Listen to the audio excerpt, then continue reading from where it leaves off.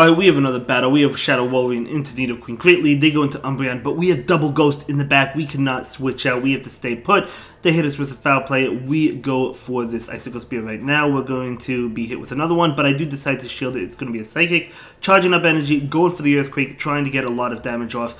I do go ahead and commit the shield here, and I'm curious if I could farm down. We're trying to. We're able to farm down. In comes Scrafty. This is Nidoqueen Double Dark. How do we beat a Double Dark team with Double Ghost? Let's go ahead and find out. They're going to hit us with the foul play. In comes Nidoqueen. I'm going to go ahead and go for this foul play. They shielded up. We're going to go for another foul play. Again, can we get the second shield? Not quite. They go ahead and hit us with a Poison Fang. That won't KO. I think they undercharged it.